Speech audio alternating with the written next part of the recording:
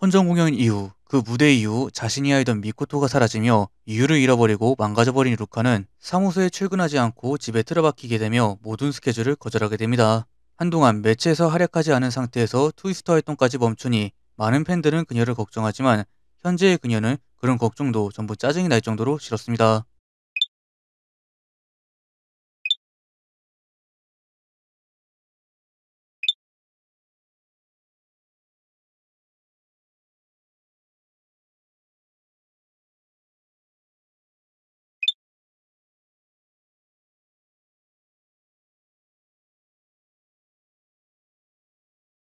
업무도 말없이 아니 그냥 무시하고 거절하고 사무소에 출근도 하지 않으니 그 공백으로 인해 사무소는 발칵 뒤집히고 매니저도 엄청나게 걱정하게 되며 그녀의 집까지 찾아가 그녀를 부르지만 매니저의 걱정과 방문도 싫었고 자신을 부르는 소리도 싫었던 그녀는 상대는커녕 시끄럽다며 매니저의 방문을 거절합니다. 이런 차가운 반응에도 매니저는 그녀가 걱정이 되어 매일 찾아가지만 대답은 없고 그녀는 계속 멈추지 않는 비가 내리는 어두운 하늘처럼 계속 계속 자신을 잃어가게 됩니다.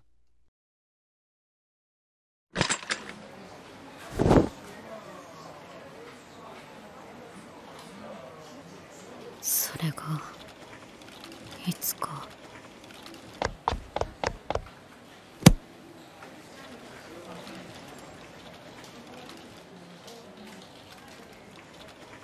雨の音に変わってた。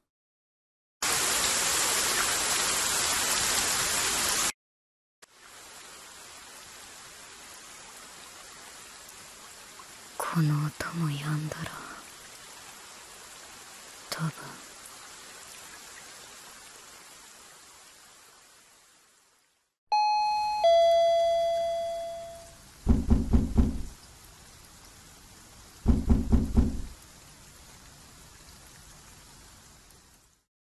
아직 1화만 공개된 것이라 큰 이야기는 없지만 결국 루카는 자신이 아이돌로서 해야 할 일을 못 찾고 서야 할 의미도 잃게 되며 전부 포기하고 자포자기한 것으로 보입니다.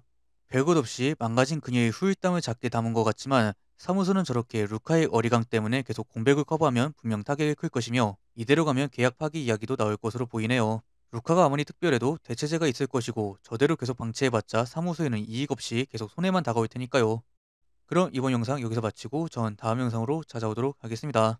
그럼 안녕